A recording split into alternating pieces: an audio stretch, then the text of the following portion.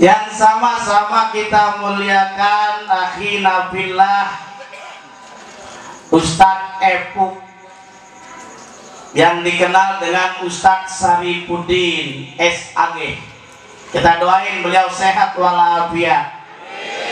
Dan yang sama-sama kita muliakan penceramah kita yang tadi sudah sama-sama kita dengarkan mau izatun hasanah kalau beliau ceramah tadi sudah selesai materinya.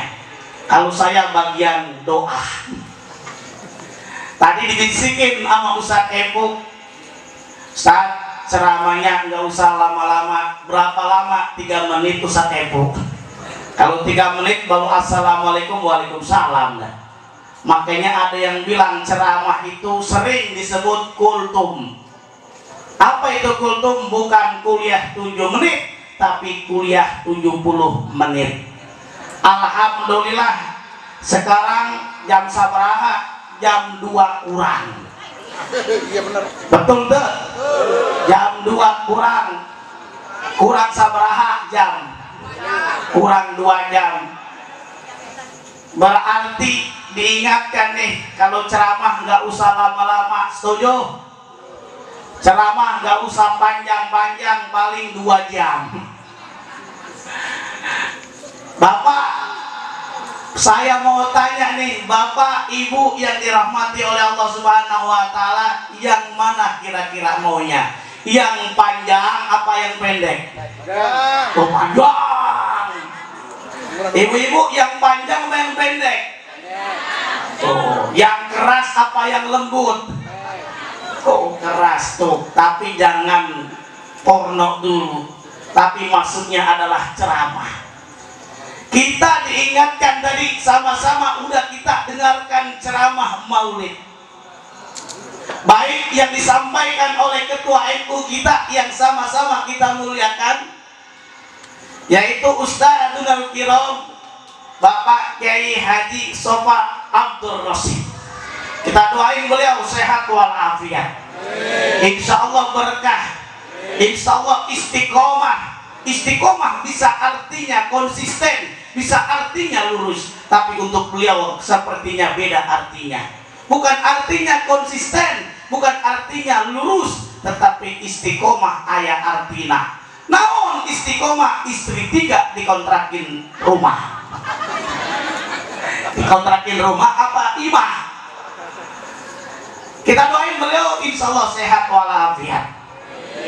Ada lagi kelompok apa Kiai Ahmad Abdul Mujib dan para kiai-kiai yang tadi kita dengarkan lantunannya baca Quran. Kiai Nurul Huda. Nur artinya cahaya. Huda mudah-mudahan baik yang namanya Pak Kiai Nurul Huda mendapatkan hidayah dari Allah Subhanahu wa taala. Kita semuanya yang hadir juga mudah-mudahan mendapatkan hidayah dari Allah Subhanahu wa taala. Karena kita hadir di majelis taklim namanya Nurul Islam. Nur artinya cahaya, Islam berarti cahaya Islam. Ciri-ciri orang masuk surga karena wajahnya bercahaya. Ini alhamdulillah saya lihat semua jamaah mukanya bercahaya semuanya. Alhamdulillah. Emang kenapa ada lampu nak? Entah pernah betul? Kita dijelaskan. Tadi udah dibacakan hadis oleh Nabi Shallallahu Alaihi Wasallam.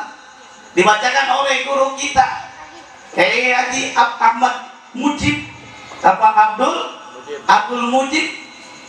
Ternyata Nabi Shallallahu Alaihi Wasallam telah bersabda man salaka yaltamisu bi ilman sahhalallahu lahu tariqan ilal jannah maka orang yang belajar baik itu belajar ilmu terutama fiddin ilmu agama maka dimudahkan. Syahallallahu tariqan ilal jannah. Mudah masuk surga. Amin. Ya rabbal mudah-mudahan jamaah yang hadir. Ini kampung apa namanya? Semua jamaah di majlis taklim Nurul Islam kampung Pakuaran mudah-mudahan kita semua yang hadir masuk surga. Amin. Ya Allah ada syaratnya kalau ingin masuk surga. Mau tahu nggak? Mau tahu aja mau tahu banget. Kalau mau tahu banget gampang. Kalau kita mau tahu masuk surga atau tidak mati dulu. Mau karena kenapa? Harus ada fasenya. Inna lillahi wa inna ilaihi raji'un kita nggak akan ada apa-apanya. Kalau tidak karena Nabi besar Muhammad Sallallahu Alaihi Wasallam. Makanya ada kosidah yang di tengah-tengah anak-anak kita yang kosidahnya itu luar biasa. Man ana man ana man ana laulakum. Terus apa lagi? Kaifama hubbukum kaifama ahwakum? Man ana man ana man ana laulakum. Man ana siapa saya? Nggak ada artinya kita hidup di muka bumi ini. Laulakum kalau bukan karena Nabi Muhammad Sallallahu Alaihi Wasallam. Kalau tidak karena para guru-guru kita para alim ulama kita yang mengajarkan kita untuk memeluk agama Islam. Insya Allah kita yang memeluk Islam Insya Allah agama yang diterima oleh Allah Subhanahu Inna dina indallahil Islam. Agama yang diterima oleh Allah adalah agama Islam. Sesuai dengan tema dengan maulid apalagi ini kita teladani akhlak Rasulullah dalam kehidupan sehari-hari tadi udah sama-sama kita simak baik ketua MUI kita termasuk juga Kiai Haji Abdul Mujib itu sama-sama menjelaskan akhlak Nabi sangat bisa sekali kita praktekkan dalam kehidupan sehari-hari kita. Bahkan kalau bicara tentang akhlak Nabi, ada kitab yang sangat menarik sekali.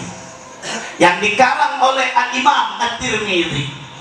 Dalam kitab disebut disebutkan dalam kitab As-Sama'il Muhammadiyah dijelaskan bagaimana perangai akhlak agungnya Nabi sallallahu alaihi wasallam bahkan dijelaskan juga bagaimana fisiknya Nabi Muhammad Sallallahu Alaihi Wasallam bahkan Nabi Sallallahu Alaihi Wasallam rambutnya baik itu kumisnya baik itu janggutnya itu ternyata ubannya itu bisa dihitung. Ya Allah